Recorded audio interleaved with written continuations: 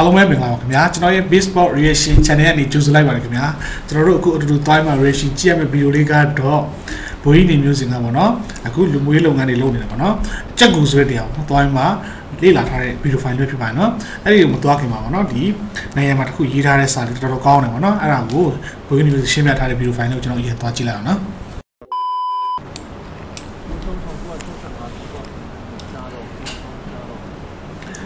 ရှာတော့လန်ဒရာကောင်းမှ ခေတ်ဆက်ဆက်ကနေပြီးတော့ဒီတပ်ပုံမျိုးတစ်ခုကို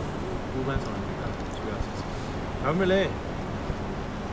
ဒီလိုရပြီးတဲ့နောက်ပိုင်းမှာစတင်ပြီးတော့ပေါ်ပေါ်လာတဲ့ဘူဝင်းရုပ်ဘုံသုံးချက်ဝင်အင်ရှုမောင်ပေါ်ဘူနေဦးဆောင်တဲ့ပတ်စစ်ကြံဖက်အာနာရှင်မျိုးစိပတ်စစ်ကနေမြည်ပြီးခဲ့တဲ့ပတ်စစ်ဇေယပတ်စစ်စိတ်တဲ့ပတ်စစ်ဆန်တဲ့အသွေးပေါ်တွေကိုစစ်တပ်ထံမှာလဲပြီးပြီးတော့စစ်တပ်ကိုတလက်ကင်တယောက်တော့တပိုက်ဆောင်တက်ဖြစ်ပုံသိမ်းပြီးအာနာရှင် စနစ်နဲ့အုပ်ချုပ်ခဲ့တဲ့နောက်မှာမာပြည်ရဲ့တိုင်းဒေသတော်တော်များကွန်ပျူတာတက်မှုဝန်စွာမှအေးကွင်းတော့ကြပါအခုဒီလမ်းတော်မှာအဲ့ဒီဆိုလက်ထက်တို့ဒီဆိုလက်ထက်ဒီမှာတော်ဒီမမမစ်စတယ်လို့ပြောတော့ဘာမှမဟုတ်ဘူးဒါပေမဲ့ခုတော့ဒီနေ့ပြသွားပြီးတာနဲ့ချုပ်ကနေတယ်စစ်ဖြစ်နေတဲ့ဒေသတွေပါကျွန်တော်ပြောချင်တာတော့ဘိုးချောင်းဆုံးပြတယ်နော်အောင်ဆုံးဆာရန်လေးကို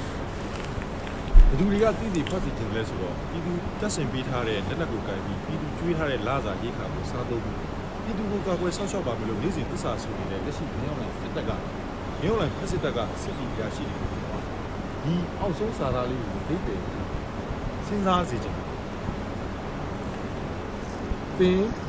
ပြည်သူရန်သူမဖြစ်စေဘူးအခုပြည်သူတရားလုံးကိုနှင်းနှင်းတိုက်ခိုက်ချေမှုန်းပြီးတော့ရန်သူတစ်ပွဲတပ်ဖြတ်နေတယ်အခုဆိုကျွန်တော်တို့စစ်စခန်းတွေကျွန်တော်ဆိုရင်ရှားတော့ကနေပြန်လာ မနေ့ကဆိုရင်ကျွန်တော်တကူလုံးမှာပုံနှံ့နေဆွဲပြီးနေပြန်ဒါကြောင့်ဆိုတော့ယူမကြတကြလွန်ခဲ့တဲ့၃ပတ်တိတိကပြည်သူတော်လိုင်းတပ်ဖွဲ့ KK KDF တပ်ဖွဲ့တွေကနေပြီးတော့တိုက်ခိုက်နှင်းနှင်းတုတ်တင်လိုက်လို့တေဆုံးသွားတဲ့လောင်းကောင်တွေရွာမှုညံလေးထက်အပေါင်းစစ်သားဆိုတဲ့ကောင်တွေရဲ့လောင်းကောင်တွေယူတွေမကြတကြနေရတာပါကျွန်တော်ညီကတေချာသွားပြီးတော့မတန်းရက်ကတော့သူ့ပုံနှံ့နေဆွဲကြတယ်သူတို့ဘာကြောင့်လို့ပိုးစိုးပတ်ဆက်အခုဒီဒီအောက်မှာရိုးပြင်းပြင်းကြတဲ့ဝါနေ တကြုံမဲ့သူမရှိစာနာမဲ့လူမရှိပေးမမဲ့လူမရှိသူမိသားစုလည်းဘာမှလုပ်လို့စောက်တက်ဆိုတဲ့ဖက်စစ်နေအောင်လည်းတက်ကလည်းဒီရိုးစုနဲ့ပတ်သက်လို့ချက်မှတလည်းမစင်စားဘူးဘာလို့ပိုးစိုးပတ်ဆက်တရားလဲဒီသူရန်သူဖြစ်တတ်မှတ်ခံရလို့ဒီပေါ်ရောက်အဲ့တော့ဒီသူရန်သူဖြစ်နေမင်းအွန်လိုင်းဒီလူလူစီးပွားကိုမယူရဲဆန်သွားဆက်လက်ကာကွယ်ပေးမလားဒီသူဘက်ကိုပူးပေါင်းလာတဲ့ဒီဘက်တော်သားကျွန်တော်ကဲလို့ဒီတိုင်းသားတရားလို့လည်းဒီဖြစ်ပြီးမှပျော်ရွှင်စွာနေထိုင်ပြီးစိတ်ချမ်းသာခွင့်ရှိတဲ့စစ်သားတယောက်နဲ့မြန်မာပြည်မှာဆက်တက်ရှင်လာ လက်ရှိခြေရတော့ပုံစံသားအချင်းဖြစ်တယ်လို့လက်ရှိတက်တရားလူစဉ်းစားဖို့ဒီဖိုင်လေး โอเคဒါတော့ဘွေးနီမျိုးစပထမဗီဒီယိုဖြစ်ပါတယ်เนาะခဏနေကြရင်လည်းနောက်ထပ် check ကိုသွားတဲ့ဗီဒီယိုဖိုင်ကိုကျွန်တော်တင်ဆက်ပေးပါမယ်เนาะပြီးတော့ဒီသူခုနပြောတဲ့ဒီ Sharos Scan ကဗီဒီယိုကတော့ကျွန်တော်မနေ့ကတင်ခဲ့ပြီပေါ့เนาะမကြည့်ရသေးဘူးဆိုလည်းအမှသွားကြည့်လို့ရပါတယ်เนาะတော်တော်ကြီးကိုအာမသိစရာကောင်းတယ်ပေါ့เนาะအမှလောင်းကောင်းတွေလည်းဒီတိုင်းပဲရှိသေးတယ်ပေါ့เนาะယူမကြတကြဖြစ်နေတယ် โอเคဒါကျွန်တော်တို့ခုဝင်းနေမျိုးစနောက်ထပ်တနေရာသွားထားတဲ့ဟာလေးကိုကျွန်တော်တို့တစ်ချက်သွားကြည့်လာနော်ဝင်းနေမျိုးစလည်း travel blog တွေတော်တော်ရိုက်တာတော်တော်တော်တယ်နော်စိတ်ဝင်စားစရာကောင်းတယ်သူရိုက်တဲ့ဟာတွေဆံပြတဲ့သဘာဝရဲ့ကြောက်တောင်ကြောက်ဆိုင်ကြောက်လိုင်ကူတွေနဲ့ဟိုနေရာဘိုင်ကွန်နဲ့ပွန်ချောင်းကြားထဲမှာဒီနေရာမှာရှိတယ်ကြက်ကူဆိုတဲ့တော်ရခွန်ကြီးကျောင်းတိုက်နေရာဖြစ်တယ်ကျွန်တော်ခုပြီးသွားဟန်လဲပေါ့ ခဏလေးအချိန်ရတဲ့အတွက်ကြောင့်ဒီကြက်ကူဝင်လေးလာကြည့်တာပေါ့ပြာကပ္ပယကြီးတွေပြောစကားရတော့ဒီကူကြီးကဆုံးစမရှိနိုင်ဘူးပေါ့နော်အဲမှာအချိန်ကြီးပဲတဲ့ဟောတော်တော်ရှိရနော်ဆုံးစားမရှိဒီဘူးတော့ခုံးတလားကြီးရှိခဲ့တယ်ပေါ့နော်ဒီထဲမှာညှို့နှံထားခဲ့တယ်ပေါ့ဆွေးမြင့်နေပါပြီတဲ့တော်တော်ကြာကြာဟစ်ရာချီနေရာမှန်းသူလည်းတခြားမသိဘူးပေါ့အဲ့တုန်းက ခုံးတလားတွေညှို့နှံခဲ့တယ်တဲ့ဘာပြောစိတ်ဝင်စားနေကျွန်တော်တို့နောက်ဝင်ပြီးတော့လေ့လာကြည့်ပြီပေါ့ဘွေးတော်တော်ခိုက်နေပြီအတန်ကြောက်တောင်းနေနော်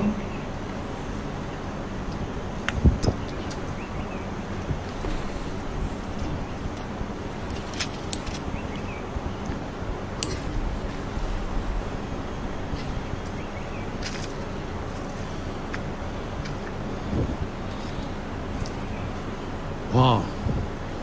တော် လေးတော့သူကြဆန်းကျဲတဲ့ပုံစံလေးတော့ရှိတယ်ပေါ့ဒီပြီးတော့ကြောကြပုံမတူပါဘူးရှမ်းပြည်နယ်တောင်ကြီးကနေသွားတဲ့ထမ်ဆန်းကူအလားတူပါပဲဒါတော့ဒီကူကတော့အဝကျင်းတယ်ဝါကျင်းနေဆိုတော့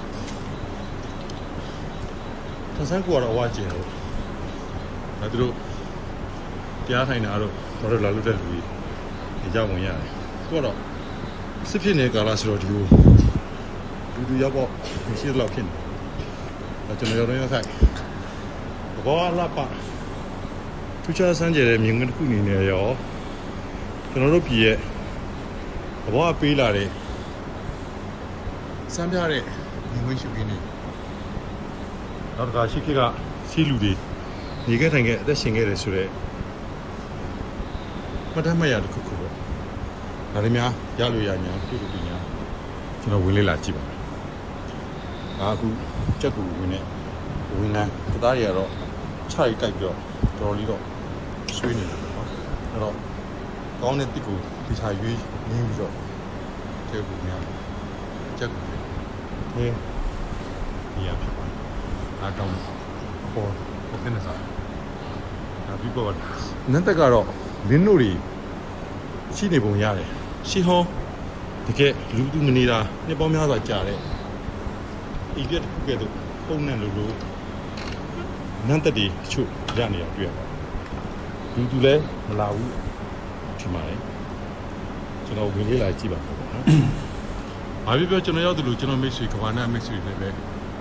ရောက်စီလို့တဲ့သဘောပေါ့ဗျာမြင်အာရုံနဲ့ပဲပေါ့။ရတဲ့ဝင်လန်းကတော့မပြောဘူး။ပြင်ရရမ်းဆွေးနေတော့ကျွန်တော်လမ်းချင်း လူသူမြောက်မှန်းတိတ်တိတာတဲ့နှစ်ချီးတွေဝင်းတို့ချီးတွေပြန်နှံ့မှာပြည့်နေအောင်ချင်းချင်းဖြစ်တန်ရှင်းလုံးဝလူလည်းမရှိဘူးထင်နော်တော့ကြာပြီလို့ယူဆပေးရတယ်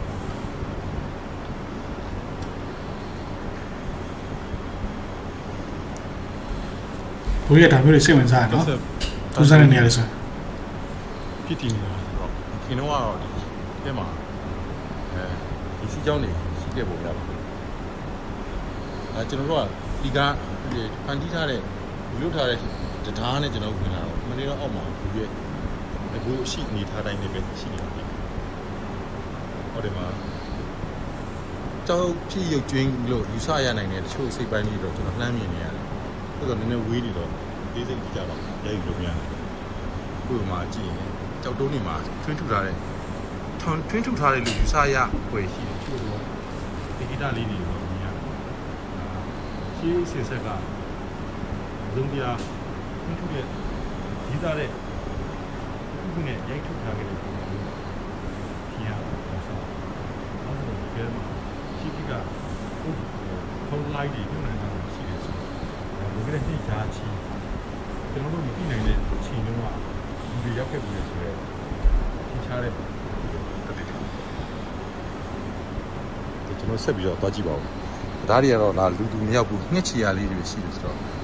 ဒီတရားပေါ်နောက်ဆုံးတက်ခဲ့တာတော့ငှက်ကလေးတွေဖြစ်ပါတယ်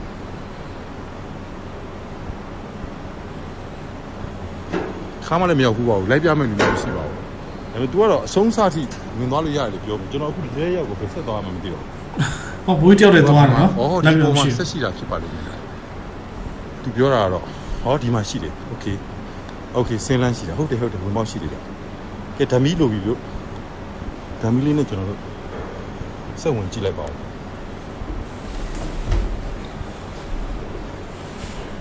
ပြီးတော့မှောင်မဲသွားပြီတော့လဲဝင်တာ ਨੇ လုံးဝပြင်မလင်းအောင်စတင်ကုန်ဆုံးသွားပြီကျွန်တော်ဓမီလေးနဲ့ရိုက်ပြီးတော့ဆက်ပြသွားပြီနော်ဘိုးရဒီ travel blog တွေရိုက်နေတာမှာအောင်ပါနော်စကားပြောတာကောင်းတယ်ဆိုတော့သူရောက်ခဲ့တယ်ဆိုတော့ထိမ့်မှန်နေနေကြောက်သူပြောတာပုံပြီးစိတ်ဝင်စားစရာကောင်းလားထင်ရပါတယ်။ညထဲမှာကြောက်တုံးလေးတင်ထားတာတွေ့ရတယ်။စာသားတချို့တွေဒီရေးချစ်ထားတာလေးတွေ့ရတယ်။ကျွန်တော်တို့ဂူဝင်ဖုန်း တော်ကြီးတွေရှိတဲ့ဖုန်းဗုဒ္ဓဘာသာဆိုတော့သူကဖဏချွတ်ပါဆိုတော့ရေးကြတော့ကျွန်တော်တို့အားလုံးကခြေပြောင်နဲ့ဝင်ခဲ့ရတယ်ပေါ့။အဲ့တော့မြေချမ်းကတော့အခုကတော့ချိရတော့မြေသားညီနေတာကိုတွေ့ရတယ်။ဂူတွင်းပိုင်းနေမှာတော့ဟာတော်တော်ထူးခြားစမ်းကြတဲ့အလှလေးတွေတော့ရှိတယ်ဗျကျွန်တော်တို့တလောကရောက်ခဲ့တဲ့လန်ကောရွာရေတခွန်အထက်ကဂူကြီးကဲ့သို့ပဲသူလည်းအလားတူပါပဲထုံးချောက်တောင်ဒီရရေတိုက်စားပြီးတော့ကြောက်ဆက်ပန်းဆွဲ ဖြစ်တည်ထားတဲ့သဘောမျိုးပါပဲ။အောက်မှာဆိုလဲတော်တော်လှတဲ့ထုစစ်ထားတဲ့လူယူဆရပွဲရှိတဲ့အမတန်မှလက်ရပြောင်မြောက်တဲ့သဘောဆောင်တဲ့ကြောက်ဆက်ပန်းဆွဲတွေမြင်ရပါတယ်။ထူးခြားတယ်လို့ဆိုရတယ်။ဘလာဘလာဘလာဘလာနဲ့လင်းလေးပြန်နေတာတော့တူတူပါပဲ။ဒါပေမဲ့ဒီလိုင်းကိုကြီးတော့ရောက်မှကျွန်တော်ထူးဆန်းဆန်းကြားရတာနွားခလောက်တန်ပါအပြင်မှာ ဘာတမ်းမှမကြားပါဘူးဒီထဲရောက်မှကျွန်တော်နွားခလောက်တန်လေးတွေတိတ်တိတ်ကြားရတာတော့ထူးဆန်းတဲ့သဘောတော့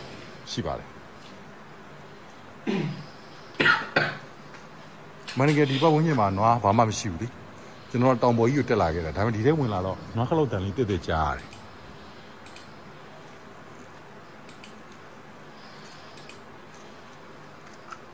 ကြောက်တန်ရင်ကြီးကမမတ်ကြီးကတကယ်ကိုပဲအလွာလိုက်အလွာလိုက်ဖြစ်တည်သွားခဲ့တယ်ဆိုတော့ လက္ခဏာကိုပေါ်ပြနေကျွန်တော်အနိကရိုက်ပြမယ်ကြောက်တွေအလွာလိုက်အလွာလိုက်တလွာချင်းစီတက်သွားတယ်တက်သွားတယ်ဖြစ်တည်ဖြစ်တည်ဖြစ်တာဆိုနှစ်သားမောင်းများသွားကြတဲ့ဒီကြောက်ကလန်ကူကြီးကတိုက်စားခြင်းတော်တော်ကောကြောက်တဖြည်းဖြည်းအလွာလိုက်တွေပို့ချလာပြီးတော့အလွာလိုက်ဖြစ်တည်သွားတယ်လို့တော်တော်ကောယူဆရပွဲရှိတယ်ကျွန်တော်သုံးသက်တာကတော့ကြောက်တွေတလွာချင်းတလွာချင်းကြောက်ဖြစ်လာရင်လည်းအပေါ်မြင့်မြင့်မြင့်မြင့်လာတယ်လို့ထင်တယ်ရခင်ကာလတုန်းကဒီကြောက်တောင်ကြီးကပင်လယ်အောက်တော်လကောသို့မဟုတ်ဒီကြောက်တောင်ကြီးတစ်ခုလုံးဟာ ရခင်ကာလကပင်လယ်ရေမျက်နှာမြေအောက်တနေရာမှာရှိခဲ့ပြီးအခုမှမီးတောင်တော်လကောတစ်ခုမို့တက်လာလို့အပေါ်ကြွလာတာတော်လကောဖြစ်နိုင်ပါလိမ့်မယ်ဘာလို့ဆိုတော့တလွာချင်းတလွာချင်းသူကကြောက်ဖြစ်လာတယ်ကြောက်လွာတွေကြားထဲမှာနောက်ခုဒီကရဲပြမယ်ဆိုရင်ဒီမှာအလွာကြီးတလွာတလွာတလွာတလွာတလွာတလွာတွန်းခေါင်နေတဲ့အလွာလေးကြားထဲမှာဒါနှစ်တန်ပေါင်းများစွာဖြစ်တည်ခဲ့တဲ့ဆိုတော့သဘောကိုပြတာတလွာကြောက်ဖြစ်လိုက်တလွာအက်သွားလိုက်တလွာကြောက်ဖြစ်လိုက်တလွာအက်သွားလိုက်စ သည်မြင်ထလိုက်ထလိုက်ထလိုက်ထလိုက်ထလိုက်မြစ်တယ်မြစ်တယ်မြစ်တယ်မြစ်တယ်ဟိုးပေါ်မှာပူစိတ်လာတယ်လူငယ်နှစ်တန်ပေါင်းများစွာကဒူကြီးကြီးတစ်ခါဖြစ်မှပင်လယ်ကျမ်းပြင်လိုကဲ့သို့တလွာတက်တယ်ဆိုပြီးနောက်ပိုင်းမှာတော့ခက်စိတ်စိတ်ဖြစ်လာတာတွေ့ရပါလိမ့်မယ်ဟိုမှာခက်စိတ်စိတ်ခက်စိတ်စိတ်ခက်စိတ်ခက်စိတ်ဟိုးဟိုးဟိုးဟိုးပေါ်ဒီအမြင့်အနည်းဆုံးပေ80နဲ့100ကြားမှာရှိတဲ့အထက်ကိုတောက်လျှောက်ကြော့လွာတွေဖြစ်တည်သွားတာကိုတွေ့ရပါတယ်ဒါလက်ရှိကြက်ကူလို့ခေါ်တဲ့ဂူတွင်းရဲ့အတွင်းပိုင်းအနေထားတစ်ခုကိုအမောင်တူထဲမှာကျွန်တော်ဓာမီလင်းအောင်နေနဲ့ ရိုက်ပြခဲ့တာဖြစ်တယ်ကျွန်တော်တို့ကောင်းတလားကြီးတွေဘယ်မှာရှိသလဲကျွန်တော်လေ့လာကြည့်ပါဦးမယ်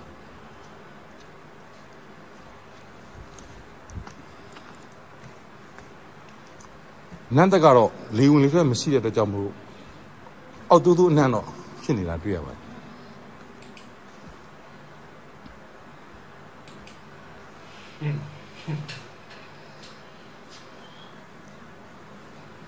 ကျောက်ဆက်ပန်းဆွေးကြီးတွေပေါ့ဟိုးပေါ်တီကိုတောက်လျှောက်ဖြစ်တည်သွားတယ်သူ့ရဲ့တပ်ပါမှုကတော်တော်လေးစမ်းကြည့်တဲ့သဘောတော့ရှိပါတယ်ဟိုးပေါ်မှာဟိုးအတက်ကြီးဆိုရင်ပြုတ်ကျလိုက်မလို့ဘူးဗျမလို့ဆိုတော့သူအတက်တက်တက်တိတ်ငှက်နှုတ်သီးလိုမျိုးအပြင်ထွက်နေထူးထူးခြားခြားထွက်ဖြစ်နေတာတွေ့ရတယ်သူကကျောက်ဆက်ပန်းဆွဲရလို့လည်းပြောလို့မရပန်းဆွဲဆိုတော့အောက်ကိုစိုက်ကြသူကအပြင်အတက်ကြီးထွက်နေတာဖြစ်တဲ့ကြောင့်တစ်ပင်တစ်ပင်ရဲ့အမြင့်တော်လောကောအတစုံတရာပေါ့ထူးခြားဆန်းကျင်တဲ့တစ်ခုလို့တော့ကျွန်တော်ယူဆတယ် ဘာလို့ဆိုတော့ကျွန်တော်တက်ကြည့်လို့မရနိုင်ဘူးသူ့ရဲ့ကြောက်ဆက်ဖြစ်တည်ပုံကတော်တော်ကိုဆန်းကျင်လို့ပြောဘာလို့သူကအပြင်အတက်ကြီးထွက်နေတာဆိုတော့ငှက်ကဲနှုတ်တီးစက်တီနှုတ်တီးကိုမိချောင်းတကောင်ရဲ့နှုတ်တီးတစ်ခုလိုအပြင်ထွက်နေတာတွေ့ရပါတယ်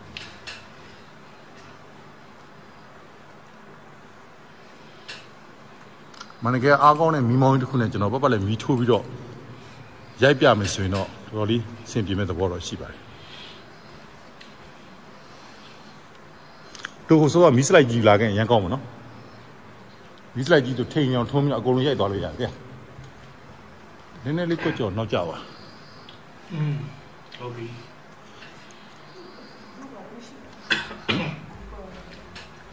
ဒါကူပဲလေထဲမှာရှိတယ်လေသူပြောတယ်ထဲမှာစုံလုံးထဲထဲမှာသူညှိနှိုင်းတာ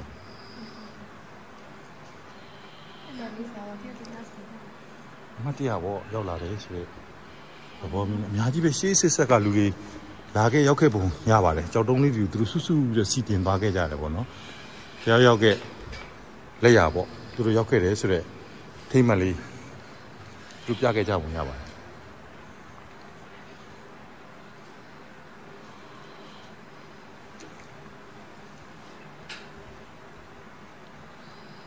မိကျိုးတော့သူတွေ့ထားတယ်ဒါပေမဲ့မီးရှိတော့ စစ်ဖြစ်တော့တဲ့ဘုန်းကြီးကပြောတယ်ဘာမှထုံးနိုင်တော့ဘူးတဲ့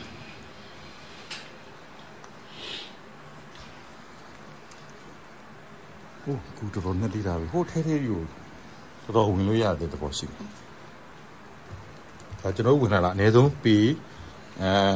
800လောက်တော့ရှိပြီပေါ့800 1000လောက်တော့ရှိပြီပေါ့ကျွန်တော်ဝင်လာတာထဲကိုကွာဝေးအားဖြင့်မကူတွင်းနေအောင်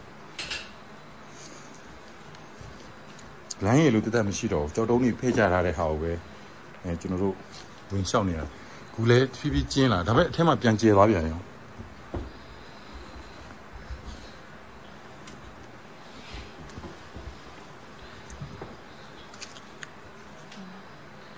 ဝါတော်ကျေအိုးရှင်ယုံထူးဆန်းတာအဲ့ကြောက်တုံးကြီးတွေအောက်မှာဘာဒီပေလဲလို့မသိရတယ်သူတို့ဒုတ်ချောင်းလေးတွေလာထောက်ထားကြတာအများကြီးသိရတယ် ရိုးရအစင်လားလားစစ်တောင်းချင်းတစ်ခုလားဘာသဘောလဲကျွန်တော်မသိရဘူးပေါ့နော်ဒါမျိုးလေးအများကြီးပဲဒုတ်ချောင်းတီးတီးလေးတီးတီးလေးတီးတီးအများကြီးအများကြီးထောက်ထားတာတွေ့ရတယ်ထူးခြားတယ်လို့ပြောရမယ်ပြီးတော့อืมချင်းချောင်းကြီးတွေလည်းရှိတော့ဒီထက်မှာရခင်ကလူတွေမိသွေးတွေဖြစ်ချင်းဆိုင်ခဲ့ကြတဲ့ပုံတော့ရှိတယ်စိတ်ဝင်စားတာအောက်ဆီဂျင်အင်ပဒန်နည်းနေတဲ့နေရာမှာဟာဒါကြီးကအယိုးကြီးလို့ယူဆတယ်ဒါကြီးက ဘာကြီးကဒီရိုးစစ်ကြီးတစ်ခုလားကြောက်ဖြစ်နေတဲ့ဟောအင်ဂျင်ကြောက်တုံတစ်ပင်ကြီးတစ်ခုရဲ့အဲဒီကြောက်ဖြစ်သွားတဲ့နေထားလားတုံ့မို့ဒိုင်နိုဆောလို့တတော်ကြီးတစ်ခုရဲ့ကြောယူလားတော့မပြောနိုင်ဘူးပေါ့နော်ကျွန်တော်ကြည့်ရတော့ဟမ်ဟမ်ကြည့်ရတော့နည်းနည်းတော့ဒီနေရာတွေကတကယ်အာကြောက်ဖြစ်ရုံချင်းသူတေသနာပညာရှင်တွေသိပ္ပံနည်းကြနဲ့လာရောက် testing လုပ်မယ်ဆိုရင်တော့ဒီကြောက်တုံးတွေဟာသိပ္ပံဟာဖြစ်တဲ့ကြောက်တုံးလားသို့မဟုတ် တတဝါကြီးတစ်ခုခုရဲ့ကြောယိုးလားသူ့ရဲ့ဖွဲ့စည်းပုံနဲ့ပုံကြည့်ရတော့အဲ့လိုမျိုးကြောယိုးတစ်ခုကဲ့သို့ဖြစ်နိုင်ခြေရှိတာတွေ့ရပါတယ်ဒါထင်းအင်တန်ပေါ့ရှုနေတဲ့ထင်းမီတုံးတုံးတစ်ခုပေါ့ရိုးလည်းဖြစ်နိုင်တယ်သူ့အတန်မြည်တဲ့အတန်ကအယိုးစုပုံစံတစ်ခုလည်းဖြစ်နိုင်တာတွေ့ရတယ်။ဟုတ်တယ်တွေ့ကြည့်ပါဟုတ်ဟုတ်ဒီအခွက်ကဘာလဲချက်ကြည့်မယ်ခဏလေး။ဒါတွေ့ကြည့် အော်ဒီမှာလှေကဲ့သို့ထွင်းထားတဲ့အရာတွေတွေ့ရတယ်။ဆိုတော့လှေကဲ့သို့ထွင်းထားတဲ့အရာတစ်ခုတွေ့ရတယ်ဆိုတော့ဒါရခင်ကဒီထဲကိုလှေလိုဟာမျိုးသူတို့ဒါကြီးကဒီတသားကြီးကတသားကြီးကလှေကဲ့သို့လှေကဲ့သို့ထွင်းထားတဲ့အရာကြီးရှိတော့ဒီထဲကိုဘာကြောင့်လှေရောက်နေသလဲခေါင်းတလားလုတ်ခဲ့တာလားอืมဖြစ်နိုင်တယ်ဒါခေါင်းတလားဖြစ်နိုင်တယ်ခေါင်းတလားတစ်ခုအရင်ခင်ခင်က တသားကိုသူတို့ထွင်းထားတဲ့ခေါင်းတလားကိုဒီထဲမှာလာမြုပ်ထားခဲ့တာထည့်ခဲ့တာဖြစ်နိုင်တယ်ရွယ်စားအားဖြင့်ရောပုတ်စော်လေးနည်းနည်းနန်နေတဲ့အတွက်ကောဒီထဲမှာတစ်ခုခုတော့သူတို့မြုပ်နှံခဲ့တဲ့ပုံရှိပါလိမ့်မယ်ဒါတသားခေါင်းတလားတစ်ခုဖြစ်ပါလိမ့်မယ်ကျွန်တော်တို့ဟိုအီဂျစ်ကမမ်မီဟုတ်တယ်ဖြစ်နိုင်တယ်ဒါဆိုလဲဒါတသားကိုစနစ်တကျထွင်းထားတယ်ခေါင်းလုထားခဲ့တဲ့အရာပေါ့နော်ဒီကြတော့နှစ်အနည်းဆုံးရာခဏန်းတော့ရှိနိုင်တဲ့သဘောပါပဲ ဒီထဲမှာညှိဆိုးဆိုးနဲ့ဒီပုတ်စော်နန်းနဲ့အနံမျိုးရတယ်ဆိုတော့ဒီထဲမှာအဲရုပ်လောင်းတွေတစ်ခုခုမြုပ်ခဲ့ပုံရပါတယ်ဒါခေါင်းတလားတစ်ခုရဲ့တင်ဂီတာပေါ့ခေါင်းတလားတစ်ခုတင်ဂီတာပေါ့ကျွန်တော်သူ့ရဲ့တစ်ပင်လေးတွေရဲ့အနေထားထူးစစ်ထားတွေကျွန်တော်တစ်ချက်ဆွဲပြီးတော့အရိုက်ကြည့်ကြည့်ပါဒါတုံးတစ်ခုသူထွင်းထားတဲ့ခေါင်းတလားတစ်ခုခုပေါ့ဒါတုံးကိုသူတို့ရခင်ခက်ကထွင်းခဲ့ပြီးတော့ခေါင်းတလားလှုပ်ထားခဲ့တယ်ဒီမှာသူထွင်းထားတဲ့အရာလေးပေါ့သာသားလေးတွေ ခုတ်ထားတဲ့အရာလေးတွေတွေ့ရတယ်ဒီလူမရှိတဲ့နေထားပေါ့ဘာမှတော့စာရီပါညာတော့ရေးထိုးထားတာတော့မတွေ့ဘူးပေါ့တသားကိုသူထွင်းပြီးခေါင်းလှုပ်ထားတယ်ပျက်စီးနေပြီလို့ကပီယာတယောက်ကပြောပါတယ်အကြက်ကူလို့ခေါ်တာကတဲ့ဒီထဲမှာအဲ့လိုမျိုးခေါင်းအရှိကြီးတွေကိုသူတို့မြုပ်ထားတာမို့လို့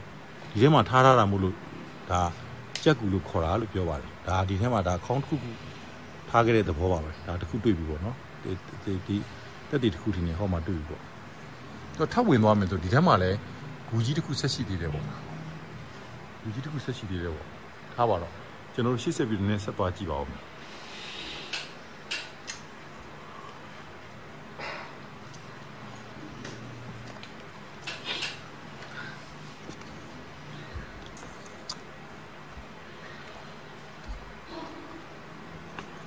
ဆိုတော့လမ်းကလုံးဝကြောက်ခင်းတက်တဲ့လမ်းပဲရှိပါတော့တယ်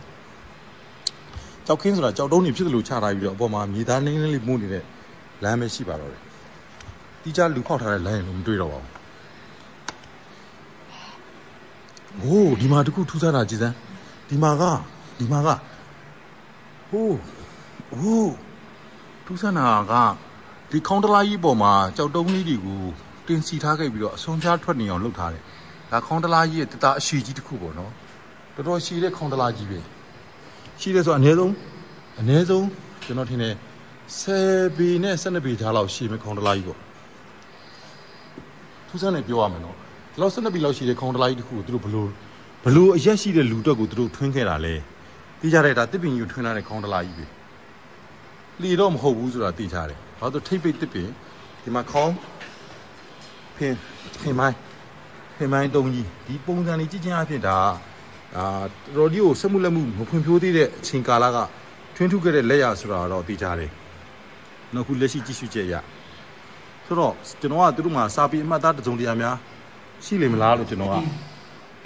ကြည့်ချင်တာပေါ့နော်။ကြည့်ချင်တယ်ဆိုတော့တစ်ပင်ကြီးကိုသူတို့ထောင်းချီကြီးပြီးထွင်းထားတယ်ဒီမှာ။ Okay ကျွန်တော်အပြန်မှာဒီတုံးတစ်ခုကိုတော့ကျွန်တော်ရအောင်ယူခဲ့လိုက်ပါမယ်။ဖြစ်နိုင်ရင်ကာဗွန်နည်းပညာနဲ့ပေါ့ဒီဒီတုံးတွေက ဘယ်ကလာလောက်ကထွင်းခဲ့တဲ့ဟာဖြစ်နိုင်တယ်လဲဆိုတာလေးကျွန်တော် testing လုပ်ကြည့်မယ်ပေါ့ဒါအခုမြင်နေရတဲ့ခေါင်းတလားဒီဒီတုံးလေးတတုံးယူမယ်နော်နော်မဟုတ်ဘူးဆိုင်ကြီးတဲ့တဲ့ဒီနောက်တင်ထားလိုက်ဒါအစီအောင်ပစ္စည်းဖြစ်စီရတော့မဟုတ်ပါဘူးရှေးအောင်ပစ္စည်းကိုကျွန်တော်ဖြည့်ဆည်းတာတော့မဟုတ်ပါဘူးတိုးတော့ဒီဒီခေါင်းတလားရဲ့အစိတ်ပိုင်းဟာဘယ်ကာလလောက်ကဖြစ်နိုင်တယ်လဲဆိုတော့အဲ မှတ်ချက်လေးပေါ့ဗျာသိပ္ပံပညာရှင်တွေများအကူအညီရခဲ့တဲ့ရှိတော့ကျွန်တော်တို့အဲသိရအောင်လို့ဖြစ်ပါတယ်ကျွန်တော်ပြန်ကြည့်ယူပါမယ်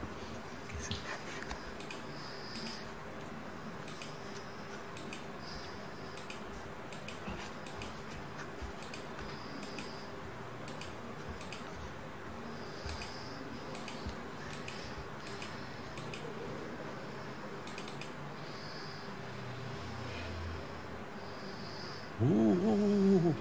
ဟို မှာစာရီရေးထားတဲ့ကဲ့သို့ဟိုအစိတ်ပိုင်းတချို့ကိုကျွန်တော်လှမ်းမြင်ရတယ်ဒါစူးတော့တော်တော်ထူးခြားစမ်းကြတယ်လို့ဆိုရမှာဖြစ်တယ်တော်တော်ကြီးကျယ်တယ်မသိရင်အပေါ်မှာပေတရားတရားလောက်ပတ်လေတယ်အကျယ်ကြီးရှိတဲ့သဘောမျိုးရှိတယ်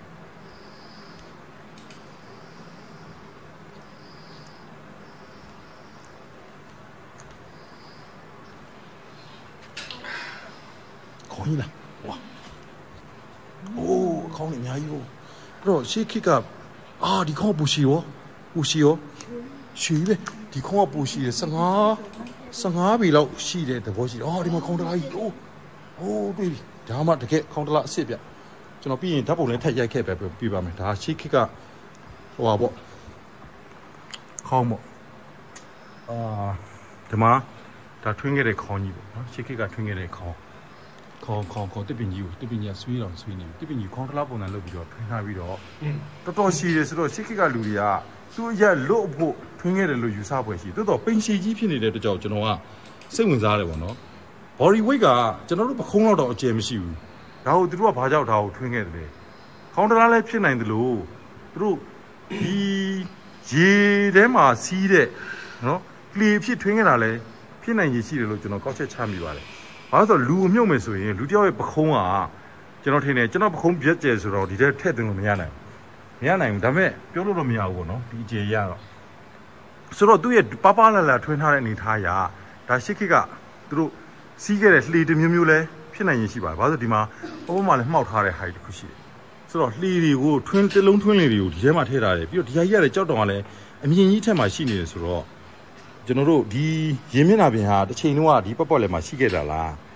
နော်ဒါကျွန်တော်တို့ဟိုစဉ်းစားရမယ့်အကြောင်းအရာပေါ့အဲ့တော့တိတ်ပံသူတွေတမိုင်းပညာရှင်တွေပေါ့ဒီကြက်ကူကိုလာရောက်လေ့လာပြီးတော့အခုဒါဆုံးရှုံးသွားနိုင်ရရှိတဲ့ရှေးအောင်မွေနေ့တစ်ခုဖြစ်တဲ့ဒီရှေးအောင်တထွင်းလေကြီးသူမဟုတ်တသားအခေါင်းဟုယူဆရနိုင်တဲ့အရာတွေကိုစနစ်တကျမှတ်တမ်းပြုစုပြီးတော့လာရောက်ထိမ့်သိမ့်တင်တယ်လို့ကျွန်တော်တို့ထင်ပါတယ်ဒါကရီနီပြည်ရဲ့ဟုတ်ပြီရှေးခေတ်ကရှင်တန်ခဲ့တဲ့ရှီးဦးဘိုးဘေးတွေရဲ့အမွေတစ်ခု ဖြစ်ပါလိမ့်မယ်အော်ဒီမှာဆိုရင်ဒါမှဆိုရင် तू ကဆွဲမဖို့ဒီလောက်ထားတာတွေ့ရတယ်ဆိုတော့အခေါင်းလည်းဖြစ်နိုင်ရည်ရှိတယ်ဒီမှာ तू ကထွင်းထားတယ်ထွင်းထားပြီးတော့ဒီမှာစာသားရည်လို့တော့သူတို့စလုံးတော့ဘာမှထွင်းထားတာမတွေ့ဘူးသူတို့ဟိုဘက်ဒီဘက်မှာဆွဲမဖို့အတွက်ထွင်းထားတယ်ဒါသူ့ရဲ့တစ်ပင်ကြီးကိုထွင်းထားတဲ့ခေါင်းဒီမှာဆိုဒီခေါင်းကြီးဆိုလို့ရှိရင်တော့ဒါတော့တေချာလောက်တယ် ဘာလို့ဆိုတော့အထဲထဲမှာရိုးစစ်ကျွင်းကြံလို့ယူဆရတဲ့ဟာအစိပ်ပိုင်းတချို့ရှိတယ်နော်ဟောဟောဟောဟောဒီတော်တော်ကိုကြီးတဲ့ဒါတော့အခေါင်းဖြစ်နိုင်ပြီဒါဆိုတော့သိကြပြီဘာလို့ဆိုတော့လှေရလို့သူတို့ထွေးမှာမဟုတ်ဘူးဒီစိပ်ပိုင်းလေးကိုကြည့်ချင်းအဖြစ်ဒီအစိပ်ပိုင်းလေးတွေရဲ့နုစစ်ထွင်းထားလေးကြည့်ချင်းအဖြစ်ဒီမှာပြပင်ကြီးအလွှာကြီးကိုသူကဒုတိယအကန့်နဲ့အလှလေးဖြစ်ထစ်ထစ်ထစ်လေးပြီးထွင်းထားတာတွေ့ရတယ်ပြီးတော့မှခေါင်းကိုလုံးဝစိုက်ထွင်းထားတာရှိတယ် အနတ်တက်ကလည်းဒါခေါင်းတလားအဟောင်းတစ်ခုရဲ့အနတ်တက်လို့ယူဆရနိုင်မှရှိတယ်အယူစစ်တွေလို့ယူဆနိုင်မှရှိတယ်အကျွင်းကြံတွေတွေ့တယ်ဆိုတော့ဒါခေါင်းတလားဖြစ်ဖို့များသွားပြီများတယ်လို့ယူဆမှာဖြစ်ပါတယ်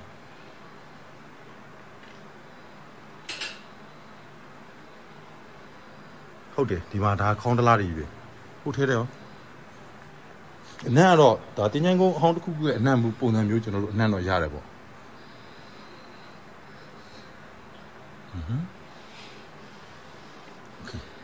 တော်လေးထူးခြားစမ်းကြည့်တယ်ကျွန်တော်တို့ရှေးကရင်နီအဖိုးကရားပြည်နယ်ရဲ့ရှေး tribe တွေပေါ့နော်ရှေးဦးမျိုးနွယ်စုတွေဒီထဲမှာတက်ရှင်ခဲ့တယ်หนีခဲ့တယ်ဆိုတော့ခိုင်မာတဲ့အထောက်အထားတွေတွေ့နေရပြီကျွန်တော်တို့စနစ်တကျကွင်းစင်းလေးလာပြီးတော့သူတည်တနာပြုစုဘယ်ခေတ်ပကလာ AD လား BC လားဟောဝေါဝေါဒီခေါင်းရဲ့ပူရှီဝေါပိုအထဲရောက်လာလေပူရှီတဲ့ ခေါင်းတွေကိုပို့တွေ့လာလေဆိုတော့ကျွန်တော်တို့ပို့ပို့ပြီးတော့စိတ်ဝင်စားလာပါတယ်ဒါဆိုလို့ရှိရင်အနည်းဆုံး12ပေနဲ့အထက်ကျွန်တော်ရနေတဲ့6 6 18ပေလောက်ရှိတဲ့တထွင်းလေတော့မဖြစ်နိုင်ဘူးလို့ကျွန်တော်ထင်တယ်ဘာလို့ဆိုတော့ဒီပတ်ပတ်လည်မှာဟိုရေဖြစ်ခဲ့တယ်ဆိုတော့အနေထားမျိုးမမြင်ရဘူးအပြင်မှာတောင်ကြီးတွေမှာဆိုတော့ဒီထဲမှာသူကဘာကြောင့်ဒီလောက်ကြီးကျယ်တဲ့တစ်ပင်ကြီးတွေကိုထွင်းပြီးတော့ခေါင်းတလားကြီးတွေဖြစ်သူကဒီထဲကိုလာထားထားတယ်လေဒီမှာလည်းခေါင်းကြီးနေဘူး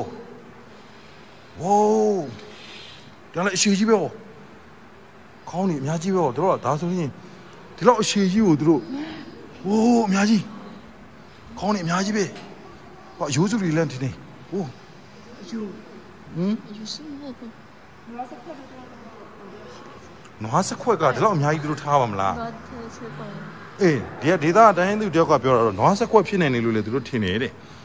ပြောလို့တော့မရဘူးကောနော် နွားတွေကိုဒီထဲမှာလာပြီးတော့တဘာဝကပ်ဘေးတစ်ခုခုကြောင့်ဒီကူထဲမှာလာမောင်းထည့်ထားပြီးနွားတွေအစာစားဖို့နွားစခွက်တွေတဲလာတဲလာပြီးတော့ရခင်းကာလာတွေကချခဲ့တာလည်းဖြစ်ချင်းဖြစ်နိုင်တာပေါ့နော်ကျွန်တော်တို့ခေါင်းတလားလို့လို့ယူဆပြီးမြဲနွားစခွက်လည်းဖြစ်နိုင်ကြီးရှိသေးတယ်လှေလည်းမဖြစ်နိုင်ဘူးပေါ့နော်အဲ့တော့အဖြေကတော့တစ်ခုခုတော့ရှိမှာပေါ့တေချာတော့ရမ်းဆွေးမြင့်နေပြီဖြစ်တဲ့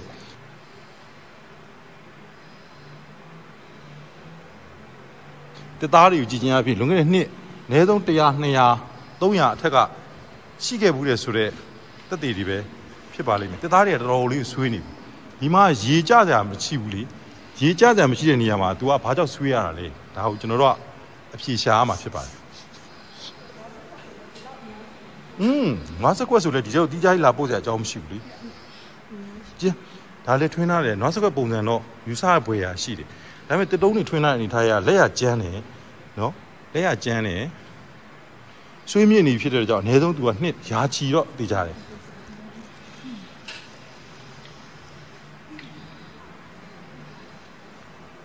အများကြီးရော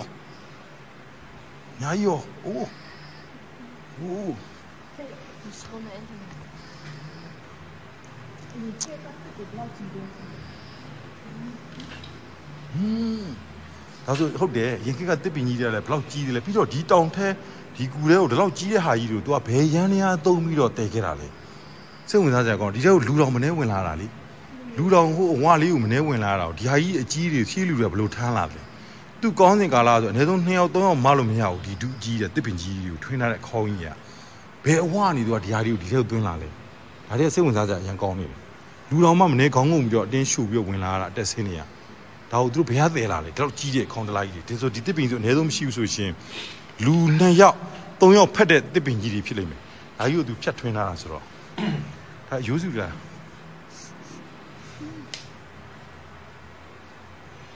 ဟိုဟိုဝင်လာလေထပ်တွေ့လေပဲဟောဆိုတော့အယိုးစုတော့မတွေ့ဘူးသူတို့အကောင့်တလားတွေကတော့တစ်ပင်တွေထွင်ထားတဲ့အကောင့်တွေကတော့အများကြီးတွေ့ရတယ်အကြောက်တုံးလေးတွေကိုစီစီတင်ထားတာတော့နေရာနှံ့မှာပဲဒုတ်ချောင်းလေးထောက်ထောက်ထားတာတော့ဒုတ်ချွတ်တို့တွေကဆွေးနေပြီဆွေးနေပြီဆိုတော့ဟိုးအရင်ခစ်လေးတွေကဝင်ရောက်လာခဲ့တဲ့ဘူးတဲ့လူတွေသူတို့မီးတုံးနဲ့ဝင်သလားဓမီနဲ့ဝင်သလားဘာလို့ဆိုတော့ကျွန်တော်တို့အထက်ကိုအနည်းဆုံးပေ 1000 2000လောက်ထိကျွန်တော်တို့ဝင်လာခဲ့ပြီဖြစ်တယ်အဲမှာပိုကျဲလာတာတွေ့ရတယ်ရေစီးချောင်းရှိခဲ့ပုံရတယ်ဆိုတော့ဒီဟာကြီးကရခင်တော့ရေချောင်းရှိခဲ့လို့များဒီလေကြီးကချောင်းယွန်းနဲ့တည်လာသလားဘာလို့အဆုံးစားမရှိဘူးလို့ဆိုတာ哦ရှေးလူကြီးတွေဟိုလူကပ္ပိယကြီးပြောတာဒီလေကူကားတဲ့အဆုံးမရှိဘူးတဲ့ဟိုထဲကိုဝင်သွားလို့ရတယ်ဆိုတော့အခုရေစီးချောင်းပုံစံမျိုးစတွေ့ပြီဆိုတော့ရခင်တော့ကဒီဟာကြီးကကြောက်တောင်ထဲမှာစီးဆင်းနေတဲ့ချောင်းတစ်ခုခုဖြစ်ခဲ့လို့လေကြီးတွေနဲ့သူတို့စီးဝင်လာခဲ့တာလား အဲဒါကျွန်တော်တို့ဆက်စဉ်းစားရမယ်ဆက်ဆက်ပြီးစဉ်းစားရမယ်အကြောင်းအရာပေါ့ပြည်သူစာကြကြနနဒီတူဖို့ရေးဖွဲ့တွေမှတ်တမ်းတင်ဖွဲ့တွေနဲ့အောက်ဆီဂျင်တွေပါညာယူလာပြီးမှကျွန်တော်တို့ဝင်သင့်တယ်လို့ကျွန်တော်တို့ထင်တယ်အခုတိတ်တိတ်အခြေအနေမကောင်းတော့ဘူးဘာလို့ဆိုတော့ကျွန်တော်အောက်ဆီဂျင်နည်းနည်းလေးရှားလာတဲ့အနေအထားမျိုးလေးတက်ရှိမဝတဲ့ပုံလေးကျွန်တော်နည်းနည်းရှိတယ်ဆိုတော့လင်းတို့လင်းတို့ချီနဲ့နေရနေတယ်လင်းတို့လင်းတို့တွေရှိတယ်လင်းတို့တွေရှိတယ် ဟောအများကြီးပြုံးဟောလည်းပြန်ဖို့မလင်းတို့ပြန်လို့မဟုတ်ဟိုမှာလင်းတို့တွေအများကြီးပြန်အဲ့ဒါလင်းတို့ချီနဲ့နေရတာဟိုလင်းတို့တွေအများကြီးပဲอืมโอเคအဲ့တော့ကျွန်တော်တို့နည်းနည်းလေးအောက်ဆီဂျင်နည်းနည်းရှားသွားပြီပြန်ဆုပ်ကြအောင်ဘာလို့ဆိုတော့အသက်အန္တရာယ်ရှိတယ်အောက်ဆီဂျင်ရှားလာတဲ့လက္ခဏာကခေါင်းလေးနဲ့မူးလာတာ1200တဲ့ရေးထားတယ်ဘာလဲတော့မသိဘူးတော့ပြန်ဆုပ်ကြအောင်ဘာလို့ဆိုတော့ကျွန်တော်တို့မှာအောက်ဆီဂျင်ဘူးတွေပါမပါလာဘူးမပါလာတဲ့ကြောင့်မူးမိုက်လဲသွားလို့ရှိရင်ဒီမှာရင်ကျွန်တော်တို့ဘဝ ဒီကိုချုပ်သွားမယ့်သဘောရှိတယ်။ကျွန်တော်တို့ကို့အထက်ကြီးသွားတော့အောက်ဆီဂျင်ရှားလာလက္ခဏာအဖြစ်ခေါင်းထဲနဲ့မူးလာတယ်။ခေါင်းထဲနဲ့မူးလာတာအောက်ဆီဂျင်နည်းလာတယ်တဲ့။အောက်ဆီဂျင်နည်းလာရင်ကျွန်တော်တို့တစုံတရာပြဿနာရှိနိုင်တာဖြစ်တယ်။ကြောက်ပြန်ဆုတ်ကြအောင်။ Okay ပါ။နောက်တစ်ချိန်ကြုံခဲ့ရင်တော့ဒီချက်ကူကိုအသေးစိတ်အောက်ဆီဂျင်ဘူးတွေ max တွေမီး slide တွေအားကောင်းတဲ့ကင်မရာတွေဖြစ်နိုင်လို့ရှိရင်ရှေးအောင် archaeology ဒုတိယပညာရှင်တွေနဲ့ကျွန်တော်တို့ပြန်လာနိုင်အောင်ကြိုးစားပါမယ်။ ခုတော့ကျွန်တော်တို့ဒီခီဂူကနေပြီးတော့ပေ2000လောက်ဝင်ပြီးတဲ့နောက်ကျွန်တော်ပြန်ဆုတ်ခွာလာပါတယ်အဲမှာတော့အင်မတန်ဆန်းပြတဲ့ဒီရှေးဟောင်းတတုံးကြီးတွေထွင်ထားတဲ့အရာတွေကအမြောက်အများတွေ့ရပါတယ်ကျွန်တော်အချိန်ယူပြီးတော့တစ်ခေါက် ACC ဒါလေ့လာပါအောင်မယ်ကျွန်တော်လက်ရှိနေတဲ့နေရာကနေဆိုဒီကိုလာမယ်ဆိုရင်၄နာရီလောက်မောင်းရင်ရောက်နိုင်ပါတယ်ဆိုတော့တစ်ချိန်မှာကျွန်တော်လွှဲတဲ့ပစ္စည်းတွေကင်မရာတွေယူပြီးတော့အသေးစိတ်မှတ်တမ်းတပ်ပုံရိုက်တာတို့ဖြစ်နိုင်လို့ရှိရင်အဲအထောက်အထားတစ်စုံတရာရတဲ့ရှိရှာဖွေတာတို့ ကျွန်တော်ဆက်လက်ဆောင်ရွက်ချင်ပါတယ်ဒါမှလည်းဂရင်းနီပြည်ရဲ့ရှေးဘူးဘီတွေဘယ်လိုနေခဲ့လဲဘယ်လိုမျိုးသူတို့မှဆွမ်းဆောင်ရည်ရှိခဲ့တယ်တမိုင်းရသူတို့မှအထင်ကြီးကဘာတွေဖြစ်ခဲ့လဲဆိုတာလေးကိုကျွန်တော်တို့ကွက်လက်တစ်ခုဖြည့်ဆွမ်းပေးနိုင်မှာဖြစ်ပါတယ်ကျေးဇူးပေးမယ်မိတ်ဆွေအားလုံးကိုကျေးဇူးအများကြီးတင်ပါတယ် ဟုတ်ကဲ့ဒါလေးကတော့ဘိုးကြီးနေမျိုးစီရဲ့ဗီဒီယိုလေးပဲဖြစ်ပါတယ်เนาะအာကျွန်တော်တို့ချက်ကိုကြည့်တဲ့အခါမှာအရင်တော့မမြင်ရဘူးเนาะဒါပေမဲ့ဘိုးကြီးနေမျိုးစီပြောတဲ့စကားတွေကိုကျွန်တော်နားထောင်တဲ့အခါမှာတကယ်ပဲကိုယ်တိုင်ရောက်တယ်လို့ခံစားရတယ်ပေါ့เนาะ အဲ့တော့ travel blog တွေရရင်တော့ဘိုးကြီးကထပ်ပြီးတော့အောင်မြင်မယ်ဆိုတာကျွန်တော်ယုံကြည်တယ်ပေါ့နော် okay ဗီဒီယိုအစဆုံးကြည့်ပေးသူရောက်စတဲ့ကိုထူပဲကျေးဇူးတင်ပါတယ်ခင်ဗျာကျွန်တော်နောက်ထပ်ဗီဒီယိုတစ်ခုနဲ့ပြန်တွေ့ကြပါနော်